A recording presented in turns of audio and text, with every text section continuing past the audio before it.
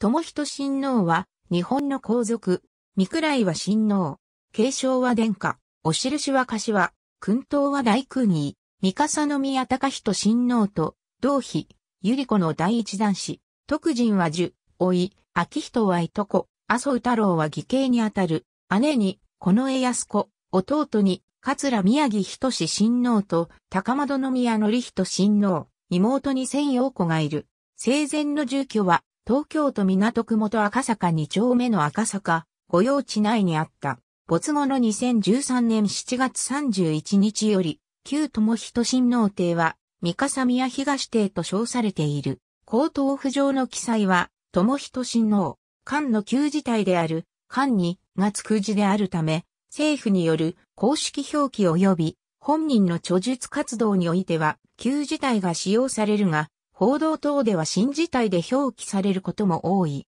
髭を蓄えた予防から、髭の殿下の愛称で知られていた。称号は、政治学士、鈴鹿国際大学名誉客員教授。その他、名誉学位として、名誉博士の称号を有する。お印に選ばれた歌詞は1946年1月5日、神奈川県葉山町の三笠宮御家宮所にて、三笠宮高人親王と、百合子妃の第一男子として誕生した。叔父にあたる昭和天皇にとっては、初めて授かった老いでもあった。幼い頃は、姉の安子内親王と共に、節子皇太后に特に可愛がられた。精神女子学院幼稚園、学習院初等科、学習院中、高等科を経て学習院大学へ入学した。父の三笠宮高人親王の教育方針は、放任主義で、子供の頃は勉強をしろと言われたことがなかったという。初等科では他の一般児童とは異なる待遇で、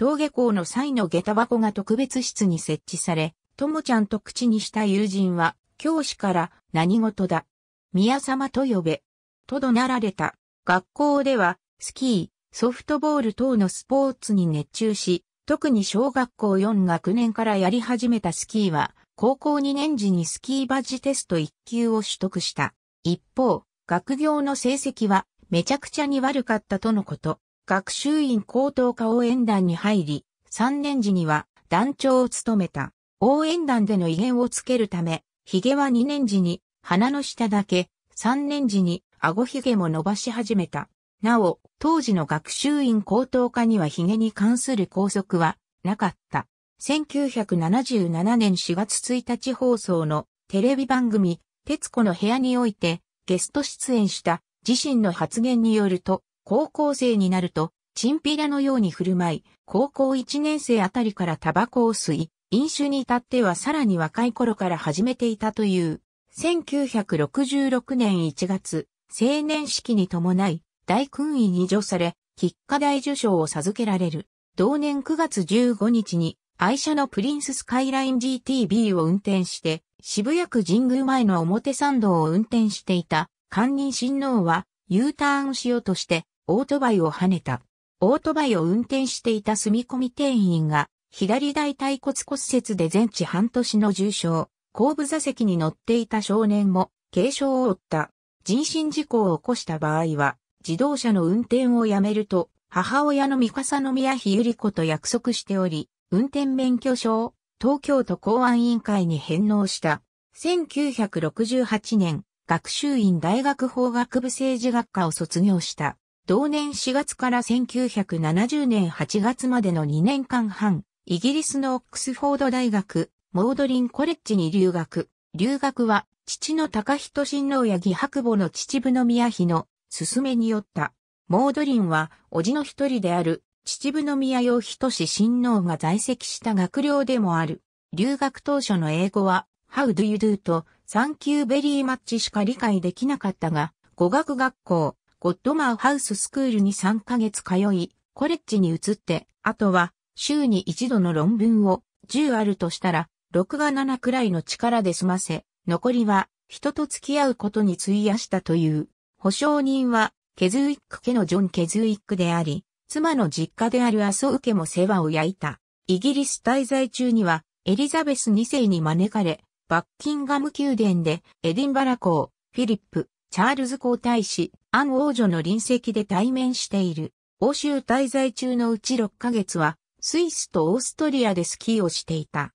1970年1月5日の24歳の誕生日に、ロンドンの中英日本大使公邸において仮装パーティーを開いた。明治天皇に似ているから大元帥服を着ろと友人に促され、父から騎兵将校の軍服を送ってもらい、これを着た。日本の一部新聞がこれを批判的に報じた。また、駐車違反の罰金の督促を受けても、これを支払わなかったため、皇族である、友人親王に逮捕状が出された。学位を取得せずに日本に帰国し、1970年から1972年には札幌オリンピック組織委員会事務局職員として勤務し、北海道札幌市に居住した。初任給は4万1700円だった。1975年には沖縄国際海洋博覧会世界海洋青少年大会事務局に勤務した。叔父の高松宮信人親王の影響を受けて、早くから障害者福祉やスポーツ振興などの公務に積極的に取り組んできた。特に障害者がスポーツへの取り組みを通じて社会参加することを促すため、自らも指導にあたり、社会福祉法人、ありのまま社の活動に見られるように、施設の運営などにも関与し、講演や著述を通じて、啓発活動に取り組んだ。イギリス留学を機に、国際親善にも強い関心を持ち、日英協会名誉総裁をはじめ、諸外国との交際にも意欲的に取り組んだ。皇族としては表に出る機会が多く、東アジア反日武装戦線は、友人親王を暗殺者リストに入れて、行きつけの理髪店、レストラン、画廊等を調べ上げており、身辺警備が強化された。皇族としての制約の多さに苛立ち、1982年に皇籍離脱派、これについて昭和天皇は記者会見において国民の皇室に対する期待がどのようなものなのかを十分に把握して、その期待に沿うように努力するように望むと述べた。2012年6月6日15時35分、多臓器不全のため皇居、66歳没。皇居時の皇位継承順位は第6位だった。1990年代から、癌、アルコール依存症をはじめとする疾病に悩まされていた。1991年1月に食道癌の手術を行った。1995年までに、下の付け根、首のリンパ節、喉など6回の癌手術を行い、その闘病経験を1999年に、闘病期、癌を語るとして出版した。2006年9月16日には洗顔中に、転倒し顎を骨折した。またアルコール依存症により、入退院を繰り返していた1月8日、5度目の入院、入院してからも入院先の病院から公務に出席しており、いわゆる、ふてくされて出てこないのか発言など行動力と鋭い、絶方の健在ぶりを見せていた。当初入院は1ヶ月の予定であったが、3週間で退院した。同年10月20日には、米氏とインタビューを行えるほどに回復した姿を見せた。しかし、咽頭癌が見つかったことから、2008年3月に再び手術を受けた。この時は声を残す方向で手術が行われたが、飲み込みがうまくいかず、4月には肺炎を発症し、再入院した。この際、喉の一部を塞ぐ手術を行ったが、それが原因で声帯を振動させる空気の出口が塞がれ、声を失った。公務の際には、電気口頭を首に当てて、会話を行っていた。2010年8月19日には不整脈の治療で入院、さらに9月の定期検診で新たな喉の癌が発見されたことから12月14日に内視鏡手術を受けることとなった。2011年2月には肺炎で入院。同年7月8日には中咽頭上皮に見つかった癌の切除手術のため入院している。1991年以降、癌に関連する手術や治療を受けるのはこれで14回目であった。2012年1月には喉に腫瘍が見つかり、財団法人、佐々木研究所附属京雲同病院にて1月10日、腫瘍と周辺のリンパ節の摘出、及び欠損部への腹部からの移植処置を伴う手術を7時間半に渡り受けた。術後に細胞組織検査を行った結果、友人親王の病状が喉がんの再発と見られると医師団から発表された。3月には食事の障害になっていた喉の軟骨の除去手術を受けた。同年6月、喉から2回出血し、輸血の必要性があったことが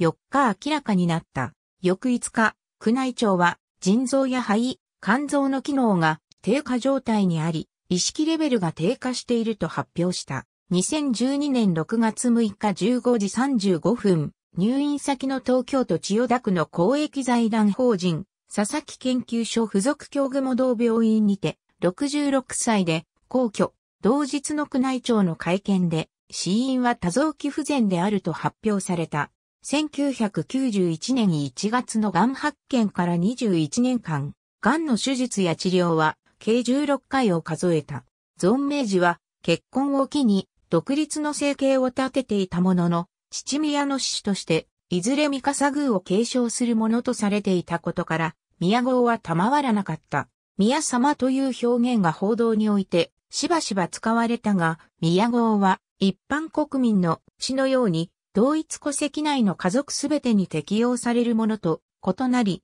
当主のみに与えられるものであるため、当主以外の皇族に、旧と関することは、本来正式な故障ではない。同様の御用は、令和時代における、皇位継承権、第2位の久人親王を始めたの皇族に対する報道にも見られる。2001年12月に行われた長女の明子女王の成人に伴う記者会見において、全国紙が明子女王を三笠宮博人様の長女明子様と記載したことに関し、親王は自身が総裁を務める日本職業スキー教師協会の広報誌の総裁コラムにおいて、私は三笠宮ではなく、官人親王であり、明子は三位が女王で、継承は殿下でなければなりません。従って正しくは、官人親王殿下の第一女子明子女王殿下には、となるべきと記した。また、柏友会の解放、ザ・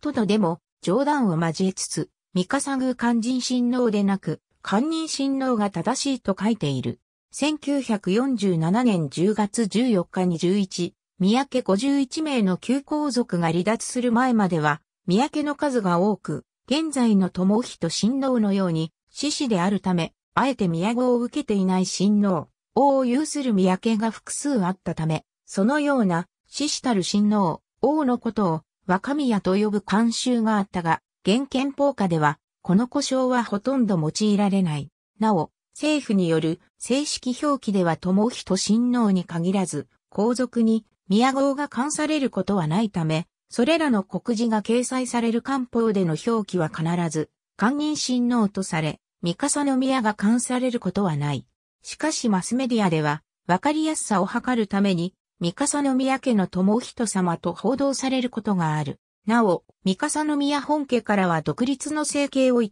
んでおり、友人親王が当主を務める友人親王家として、他の宮家に準ずる扱いを受けていた。親王の皇居に伴い、当主不在の状態が続いていたが、2013年6月10日に宮内庁は皇居に遡り、親王家を廃止すると発表した。従来の慣例では、友人親王日信子が当主を継承することになるが、長年別居が続いており、親王の死後も二人の娘たちと同居していなかった。友人親王邸の名称も、三笠宮東邸と解消された。2009年3月7日、高輪プリンスホテルでの公演にて2005年10月27日、第60回国民体育大会閉会式にて、平成時代に入り憲法上の制約もあり、天皇及び皇族が女系天皇の是非について、自らの意見を公にする機会は限られている。友人親王は、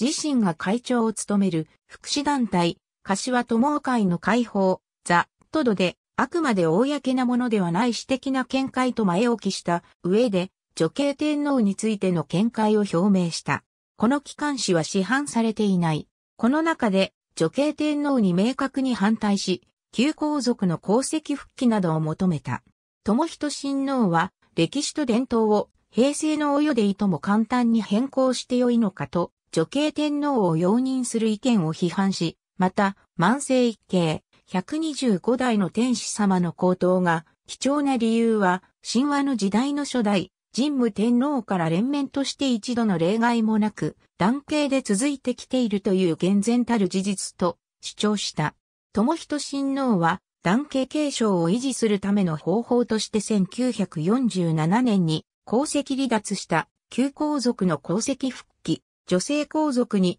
旧皇族から養子を取れるようにし、その人物に皇位継承権を与える。廃絶になった秩父宮や高松宮の祭祀を旧皇族に継承してもらい、宮家を再興する。昔のように、側室の制度を復活させる。自分としては大賛成だが、国内外ともに、今の世相からは少々実現性が乏しいと思うとも、述べた、を挙げた。その上で、陛下や皇太子様は、ご自分たちの家系のことですからご自身で発言されることは、おできになりません。国民一人数とが我が国を形成する民草の一員として、2665年の歴史と伝統に対しきちんと意見を持ち発言をしていただかなければ、いつの日か天皇はいらないという議論にまで発展するでしょうと結び、女系天皇用人の動きに反対する意見を述べた。また、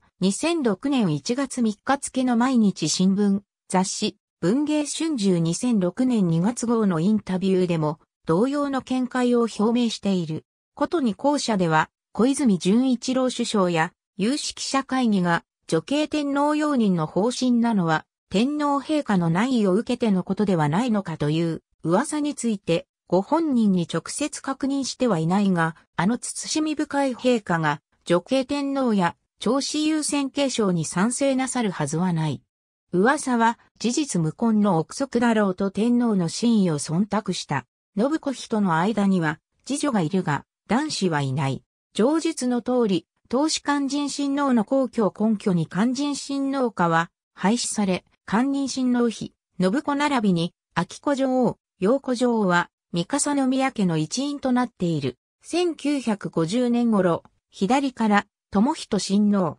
母、百合子妃、弟、義人親王、姉、安子内親王。ありがとうございます。